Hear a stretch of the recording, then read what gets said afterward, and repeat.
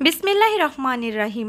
আসসালামু আলাইকুম ওয়ারহমতুল্লাহি আবরাকাতুহ শীতের সন্ধ্যায় চায়ের সাথে কিন্তু মোয়া, নাড়ু কিংবা মুরগি খেতে অনেক ভালো লাগে।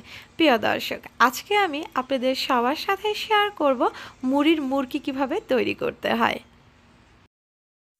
গ্রামে যদি অতিথি আসে, তাহলে কিন্তু মোয়া, নাড়ু এবং মুরগি দিয়েই অতিথি আপ্যায়ন করে থাকে। আমাদের বিক্রমপুরে কিন্তু এখনও এই প্রচলনটা আছে।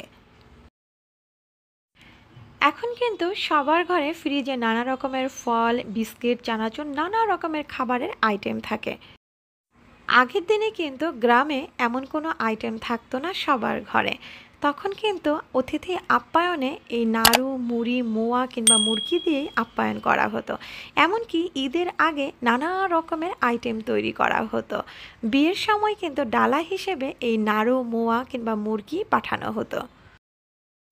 মুরগিটা তৈরি করার জন্য এখানে আমি পাঁচশো গ্রাম মুড়ি নিয়েছি। আর মুড়িগুলো কিন্তু একটু বড় সাইজের নিয়েছি। মুরগি তৈরি করার সময় কিন্তু অবশ্যই লক্ষ্য রাখতে হবে মুড়িটা মচমচে আছে কিনা।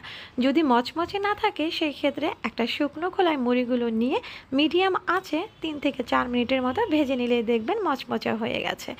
এবার চুলাতে আমি একটা কড়াই বসিয়েছি আর এখানে পাঁচশো গ্রাম গুড় দিয়ে দিচ্ছি। প্রিয় দর্শক, মোয়া কিংবা মুরগি তৈরি করার সময় কিন্তু অবশ্যই এখানে আখে গুড়টা ব্যবহার করতে হবে। সাথে দিয়ে দিয়েছি হাফ কাপ পরিমাণ পানি। প্রিয় দর্শক, খেজুরের গুড় দিয়ে কিন্তু এই মুরগি তৈরি করা যাবে না। আরেকটা কথা, প্রিয় দর্শক, যখন নাকি আপনারা এই আখে গুড়টা কিনবেন, তখন দোকানদারকে কিন্তু অবশ্যই বলবেন, বাইলা বাইলা যে গুড়টা আছে, সেটা যাতে না দেয়। আঠালো যে গুড়টা আছে, সেটা যাতে দেয়। আঠালো গুড় দিয়েই কিন্তু আপনার মুরগি কিংবা মোয়া অনেক বেশি ভালো হয়। চুলার আঁচ কিন্তু লো আর মিডিয়াম আঁচের মাঝামাঝি রেখে অনবরত নাড়াচাড়া করতে হবে। আমি কিন্তু একটু পরপর উঠিয়ে দেখছি যে ফোটাটা কীরকম পড়ছে। প্রিয় দর্শক, মুড়ির মোয়া কীভাবে তৈরি করতে হয় তার একটা পারফেক্ট রেসিপি কিন্তু আমার এই চ্যানেলে দেওয়া আছে। আমি এই ভিডিওর ডিসক্রিপশন বক্সে লিঙ্কটা দিয়ে দেব। আপনারা আপনাদের সুবিধা অনুযায়ী দেখে নিতে পারেন।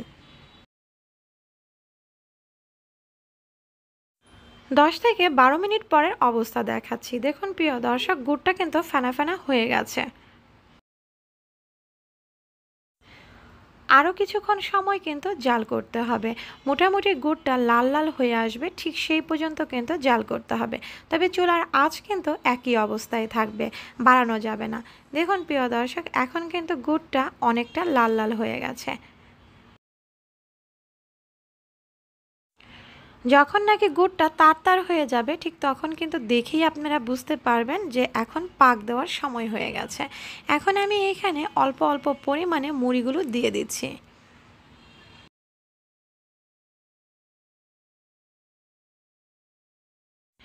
একসাথে কিন্তু সবগুলো মুড়ি দিতে যাবেন না। অল্প অল্প পরিমাণে মুড়ি দিয়েই কিন্তু মাখিয়ে নিতে হবে।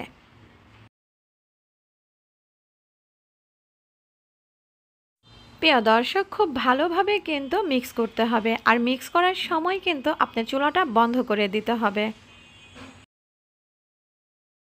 যখন নাকি আপনি মোয়াটা তৈরি করবেন, সেক্ষেত্রে কিন্তু গুড়টা আরও কিছুক্ষণ সময় জাল করতে হবে। আর মুরগি তৈরি করার সময় কিন্তু গুড়টা তত বেশি জাল করতে হয় না। চুলা থেকে নামিয়ে কিন্তু সাথে সাথেই মুরগিগুলোকে একটা বলে ঢেলে দিতে হবে। না হলে কিন্তু নিচে লেগে যাবে। ঠান্ডা হওয়ার পরে কিন্তু তখন আর মুরগিগুলো উঠানো যাবে না।